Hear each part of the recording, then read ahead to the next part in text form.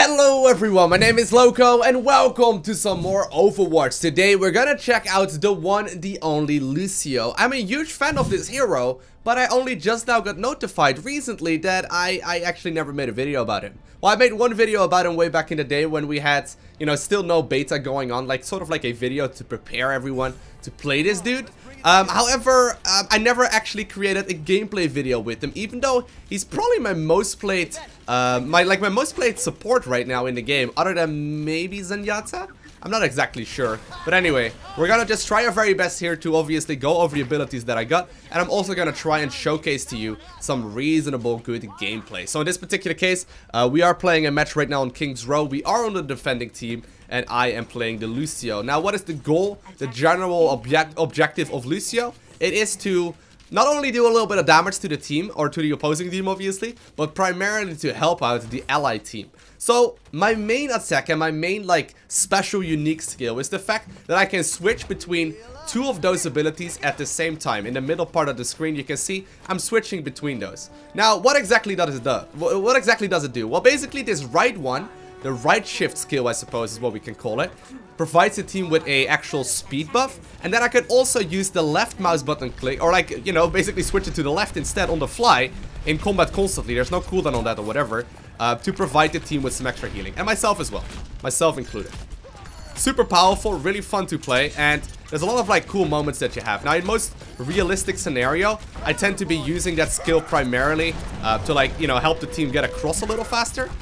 Oh my god, get him! Oh, come on. Oh, he does get killed there, and we do actually keep the teammate alive as well. Trying to get closer to my ally, make sure that Junkrat doesn't just randomly start falling. And so far you can see, like, even though we're always around the teammates, we're actually providing a lot of healing. We're actually helping them out a lot. It may not be very apparent, but other than like a hero like Mercy that can only do like single target healing, we can actually provide the team with a ton of extra sustain and like a ton of extra like area of effect healing. So I did just use my ultimate as well. Ultimate, one of the strongest ones in the game. Uh, it basically provides the entire team with um, a shield, or at least everyone that is close to me. As you can see right now, it says like a little 4 button in the middle of my screen, which means that my heals are currently affecting 4 of my teammates. My E ability is called Amp It Up, and what that one does is it amps up the volume. As you may have guessed, all of the abilities and all the skills that I got here are uh, very much so focused around um, music and whatnot. I'm basically a DJ from Brazil, if I'm not mistaken, uh, for the lore goes for this character, and um, I um, I use those um, I use the extra amped up music, I suppose, to provide the team with some either extra damage or extra healing, or to provide them with some extra. Um, you know, movement speed. So basically, periodically, I can increase the amount of healing or the amount of um, speed that I can give my uh, my teammates. So right now it looks like everyone is uh, amped up all the way to full health. I do need to get a little bit closer here. Okay, here we go. And just making sure that I keep him alive as well. So very good. Very, very good. So basically, I'm like the primary area of effect healer. Which is honestly, whoo, which is honestly really, really fun to play. I do end up falling there sadly. Nice stun there by the Reinhardt into uh, the Genji player right here, using a Shuriken to murder me down. As you can see, like, I only have 200 health, right? It's not like I have a lot of health in this game, so... Anyways, while I'm running back, I'm obviously gonna be uh, making sure that I get there as fast as possible. Last unique skill that I got as well is the fact that I can wall run. Wall running I actually tend to not use all too often. But as soon as I get close to the teammates, I think I'm gonna go and switch back into the healing here instead. Activating the ultimate. Making sure that everyone at least gets a little bit of extra sustain. As you can see, like there's a ton of extra healing that you get from that, and oftentimes you can keep either like you can uh, you can like as the attacking team you can like push towards the victory because of it, um, or you can um, or you can just simply use it to hold on to a point. I usually just tend to you know use it whenever there's multiple teammates around and there's like a bit of a skirmish going on if you're on the defending team in particular. Now as far as my basic attacks go, I got a left mouse button click just like all of the other heroes um, that basically shoots like three beams, like three shockwaves of beams and whatnot. That is basically gonna help out the team uh, with. Um, That's basically gonna help out the team with just dealing pure damage. It's not like you can shoot a single one, by the way. It always goes in like waves of three. And then my right mouse button click I can use to basically push someone away, just like that, on the Reinhardt, which basically pushes an enemy, sometimes out of the map, but also just out of the direction. So let's say like a Winston is close on me or like a, a Reaper. I can use it to push them away. And right there, he could have accidentally pinned one of my teammates or like not accidentally, obviously, but he could have like pinned up one of my teammates, uh, which would have been really unfortunate. So right here, I basically provided us with a little bit of extra, you know, pushing potential to get him out of that uh, out of that scenario. Now, our Reaper sadly did go all the way up to the high ground for no apparent reason. Not sure if I agree with that. Oh god, I just pushed him away really far, but sadly, didn't quite have my ultimate up ready to go, and I couldn't alt right there. There's a really cool counter that you can do with this hero as well. Like, let's say I see this Death Blossom coming from the Reaper player. I can obviously use that time that we got uh, to, and look at that movement speed by the way, but I can use that time that we got to uh, activate the Q, my Q, and at that point we can obviously do a stupid amount of extra, um, extra damage, or extra, extra sustain. Oh man, we're in a really dire scenario here. I don't have very much of anything anymore. And they did just manage to capture the very first objective after us holding on for a very long amount of time. Now, the second one is much easier to defend, so I'm just going to shoot whatever I can find, but obviously I don't want to just go down. There's quite a lot of travel time with my basic attack clicks, so I just usually tend to use it as often as I can. And just try and get out of trouble here. Whew, that was close enough. the good old medic. But yeah, there's a lot of travel time here, so I just sort of spam it in whatever direction I can. And sometimes we, we randomly, you know, hit one of the teammates to get the headshot there. So as you can see, like, I pushed him back quite a lot. Now, sadly, I can't quite, I can't quite easily, I can't really easily 1v1 a Reaper, right? I mean, even though we pushed him back quite a lot, um, it's not easy. It's definitely not easy. And my teammates sadly didn't realize that that fight was going on. So let's get back into the swing of things trying to stop the payload. Basically, they win the game if they manage to uh, escort the payload all the way over there. Two and a half minutes. I think we got plenty of time here to uh, to keep it alive. Come on. Standing still makes this shot way easier to hit, and we do get him right there eventually, but... Okay, I'm gonna head over there. Okay.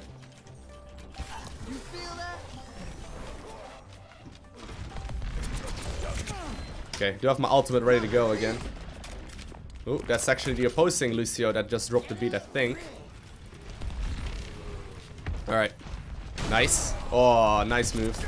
Sadly, the Reinhardt had a shield ready to go. I do have my ultimate up right now. Don't really want to waste it here randomly. Oh man, my teammate right there is in critical health. Okay.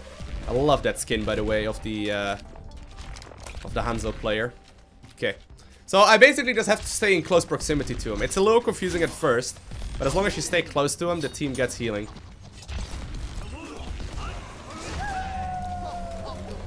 Alright. Stay alive, my man. Stay alive. One minute remaining only. This is good for us. Don't die, my friends. Alright. Oh man, everyone's low. Raising the volume of everyone, but Trying to just simply make sure that everyone stays a little closely together as well, so I can actually use it, yeah. Pushing away Genji as well. Good, good, good. 50 seconds only. 50 seconds is something we can easily make. There's a checkpoint along the way though, so that's something to keep in mind. It's actually probably about 10-20 seconds from this point here. So obviously there's also overtime to keep in mind. Alright. Alright, and I, I really honestly enjoy playing Lucio the most in combination with like a Mercy. Seems like double support is the way to go in this game for a lot of scenarios. And um, if you have like Lucio for AoE healing, oh man, there's a Widowmaker over there on the high ground. If you get uh, if you get a um, if you get a Mercy for single target healing and you have a Lucio for area of effect healing, it's super super good. Once again, breaking it down here, just because there's only a couple seconds remaining, and we can use this time here to easily push them back. Easily push them back. He is now frozen, and this game is definitely gonna go in our favor. Well, there's a little bit of overtime, apparently. I have no idea who's close to the objective. No one is anymore, at the very least. And we managed to do 19 eliminations with 3 deaths here. Um, and we got a whole lot of objective kills as well. Don't know if I managed to get to play of the game, though. Think we did? Not quite, not quite. You don't actually oftentimes get plays of the game uh, on Lucio. It's much easier on uh, a hero that is doing damage. Wow, wow. They actually changed the scream that he does as well when you're on the skin. That's sick. Wow, the play of the game shows him dying. Insanely sick play of the game. and we managed to get 10 objective kills with 19 eliminations in total. But let's jump into the next one. Ooh, and after that game, I actually just got a loot box here from leveling up, and it's actually glowing with like legendary colors here. I'm really excited. What could we get? I hope I get one of the six skins as well. As well. What is it? Oh, we just got some extra currency. Nice. How much did we get? Seven, 500? Whoa, that's a lot. Whoa, so basically this currency is used to like get whatever skin we want, really. Oh, that's sick. and for the second game, we find ourselves on Nepal. Now, for some reason, we got three tracers in the team right now. I sincerely hope that that is not like actually gonna happen. I mean, the team composition isn't all too terrible. It's just that these dudes are really, really flimsy. They may obviously have grouped up together and just decided to be running with a lot of them. But no, we do actually get a, a second uh, a second tank in there in the form of D.Va. So this is actually looking pretty solid. Good all-round team here that we can use to start pressuring the very first objective on Nepal. Now, as you may be aware, this is one of the new game modes uh, that they've introduced in Overwatch. It does actually change up the game significantly. And actually, wow, cool Junkrat skin right there as well. Thank you though, very much so Mr. Lucio for that last game and providing me with a legendary amount of gold. 500 gold is basically like half of any kind of legendary skin you would like, so pretty sick. Pretty sick, but let's get into this, guys. Let's get into the game. Right. Getting towards the objective as soon as we can. That's pretty nice because we're actually gonna get there way before the enemy team and we're already there. well, pretty much. Not quite yet, but we're already there. Much before they did. Okay. Gotta go ahead and switch to the healing right here. And obviously try my very best to keep the team alive. Amp up the volume as soon as we need to. Oh man, she's all the way back there. I don't know what she's doing there. D.Va is going absolutely YOLO. Okay. Did manage to get a bunch of kills there, so that's good. Oh god, get out, get out. Trying to get close to my teammates, making sure that... Oh, nice. Trying to make sure that um, they're obviously pushed back. And we did just already capture the very first objective in our favor. So the Tracer setup apparently is working out quite well. There's no reason for us to get all the way over there though. I'm just going to simply move back. Thank you very much, McCree, for shouting behind you. nice ma maneuvering actually right there as well by McCree. 22% right now, and we're getting close to hitting our ultimate already. The ultimate uh, on this game mode is really good too. It helps out so much. It helps us so much. Yeah, we're just gonna start draining on them. Not too much I can worry about here. I mean, she doesn't do very much damage from this much of a distance, and honestly, I'm not too worried about it. Go ahead and raise up the volume for just a little bit. We can use our ult if we want to. Yeah, okay, I'll go ahead and use it right now, just because a lot of teammates are getting relatively low, and we can use this time to push them back. It's very good. Gonna go ahead and obviously try and keep the teammates alive here. Just by hanging back. I mean, it's kind of it's kind of one of those playstyles, and we do get eliminated right there. It's kind of one of those playstyles where you're basically trying to find a clump of teammates, right? You're not the one that gets to decide exactly what's going on, but you are the one that can easily change the game, you know? I'm not like changing the tempo of it or anything. I'm just making sure that everyone stays alive. Now, sadly, the ditches managed to capture the objective in their favor. Let's see if we can contest this. I have switched to healing right now, raising the volume once again. Nice move right there by Junkrat, and it looks like we may very well be able to switch this one back in our favor. Ugh. Do actually get killed by Loki there. Loki actually does end up killing me there. It's a little unfortunate, and nice, nice usage actually right there of his grenades. We'll get back into the battle once more, and we did, by the way, manage to spend that extra time, or use that extra time that we had to capture the objective back in our favor. So right now, we're in a very, you know, higher percentage already. 9%. Very good for us. Get behind my teammates. It looks like there is going to be an ultimate right now from the Soldier 76 player. So that's something to keep in mind here.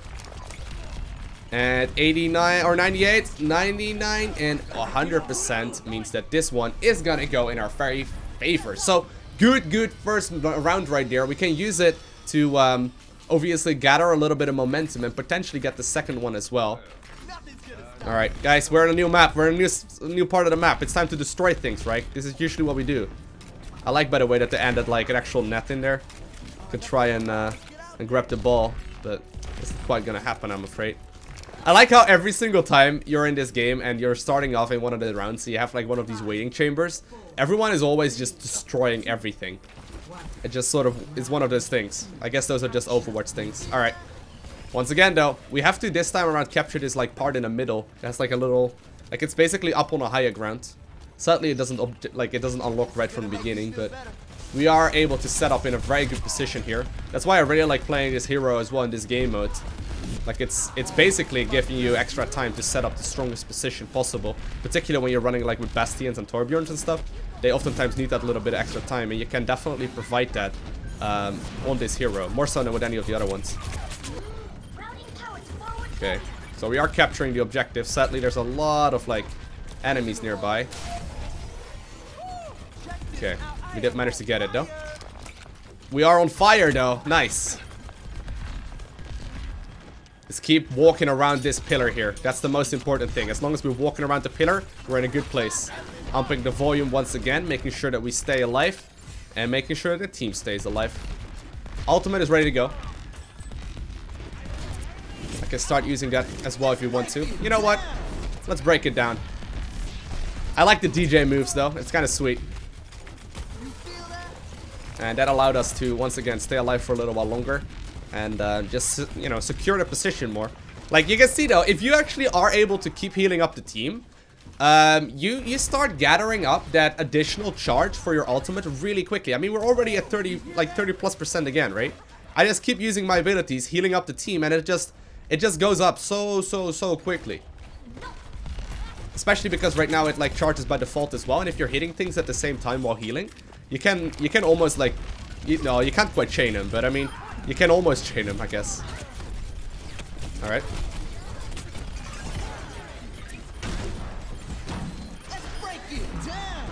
Once again getting it. Gotta be careful for the D.Va player. Who's shooting at us? Alright, we'll just keep healing up, I suppose. Why is she all the way over there? Come here. Good. 77%. They haven't even been able to really contest it so far. It looks like this is going to be a clean victory. I mean, obviously, it's not to be, you know, it's not to be uh, done yet. I actually don't need to move forward this far. There's no particular reason for that. Oh, oh. Oh, God. He's got us in his sights, boys. Gotta worry. Oh, gotta worry about that. Whoa! Oh, get behind the pillar. Very good. And the team, you know, everyone's very familiar about what is going on here. It looks like, well, while we have got a little bit of overtime here at 99% because they are currently in the objective and actually do get taken out there, I think this may very well be game, right? Maybe they're actually holding on. That'll be weird. At 99%, they're going to be able to take it? Alright. I'm gonna try and get back in there as fast as I can. They're actually taking it. What? No way. All right. Time to start, you know, bursting forward. Heal up, boys. Anyone that needs some healing? Oh, man. I don't really want to lose this one right here. Oh, nice ultimate usage right there, actually. Very well done. Pushing them from the objective if you cannot all have that happen. We only need one more percent here. that was surprisingly close. Alright, alright, here we go. Amping, or upping the volume once again. Grabbing some extra healing. And that ultimate is charging super quickly. Overtime is starting to disappear and... well, Justice rains from above. But not really that far above apparently, because she's she's basically one step above the ground. So, nice game there. We do get the, uh, the victory here as well. Very happy with that one. And it looks like Loki as Junkrat, the opposing Junkrat that is uh, is gonna get to play of the game. Probably with us dying. No, maybe not. That was a cool positioning, though. Yeah, he gets a lot of kills there. Well done. Anyways, I hope you guys enjoyed watching this one. Oh, there we go. We did die. I hope you guys enjoyed watching this one. If you haven't already, though, make sure you hit that like button down below. If you want to see more, hit that subscribe button as well so you get a notification as soon as I upload more. And I want to thank you all for watching. Have an amazing day. Do not forget to smile. And I'll see you in the next one. Woo!